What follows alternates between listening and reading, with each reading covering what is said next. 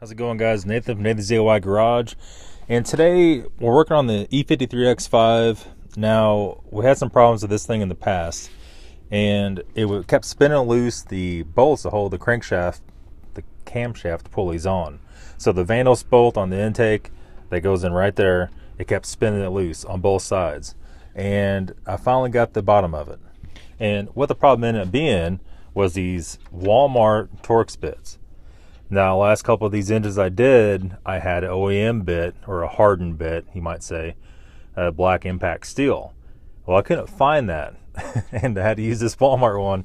And when I put on my torque wrench, I think it was really hindering uh, the amount of torque. And the last time I did it, well, this past time, I was torquing it down, and I could see the bit actually twisting so I'm pretty sure that's what it was.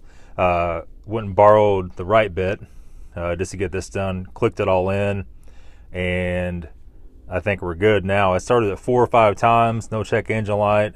It seems like it's right. You know, everything seems like it's good to go. There's one other thing I think could have been hindering me too. On the exhaust side, the last couple times I did this, I loosened that up on the cam bolt, but it seemed like maybe it wasn't loose enough. Like a, when I tightened the tensioner down here, it wasn't ratcheting the whole thing to take the slack out. And I think that was also another problem. Uh, but a lot of you guys have this problem, and it can be bad Vanos. You know, the Vanos is full of debris and over actuating, under actuating.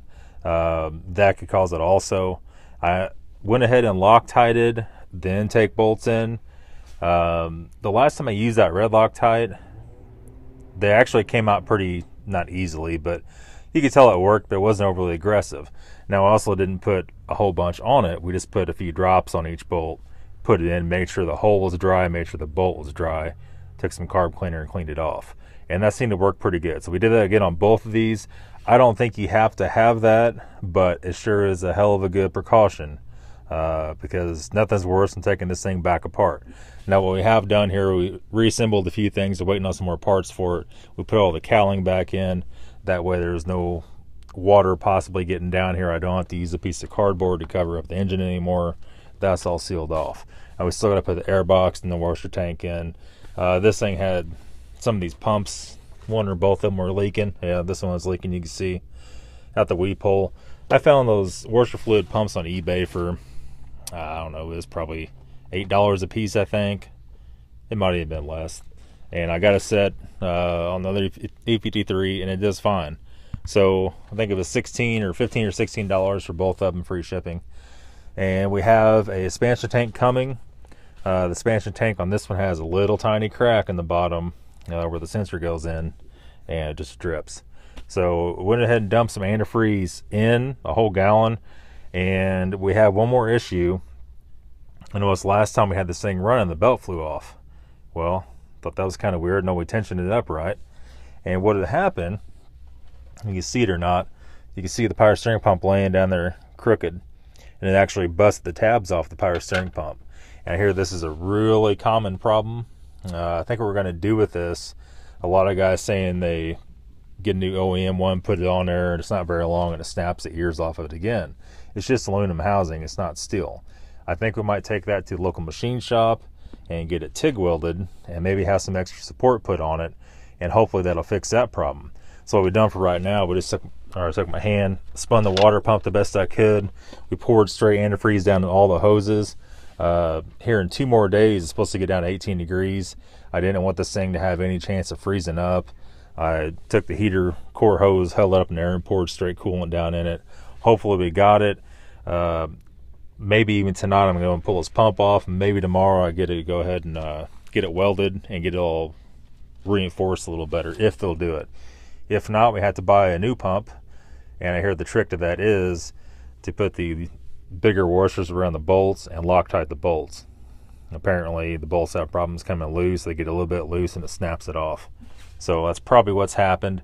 Uh, then before this thing is done, we're going to have to do the air ride, the airbags in the back. They are leaking, and we had the AC open on this guy. We taped it all off. We should just be able to add to it pretty easily.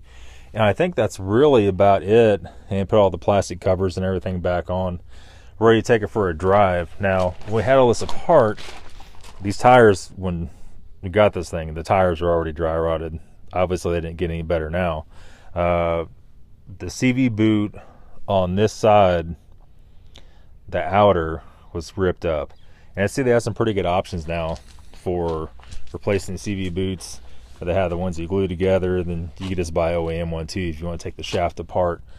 You know, I'll weigh the options out and we'll do a video of that and get all that caught up. So sorry guys, not much of a video today. I just want to catch you up what's happened on this thing. We did get the Silverado done today. Uh, we took the passenger side apart on it. Uh, did the wheel bearing, ball joints, control arms, tie rods. Tie rods were seized on. The brake disc is seized to the wheel bearing. The wheel bearing is seized to the spindle. And good time. So I think took about six hours per side just because it was rusty. And the last one I did that wasn't was about two hours per side. So you never know what you're going to get into.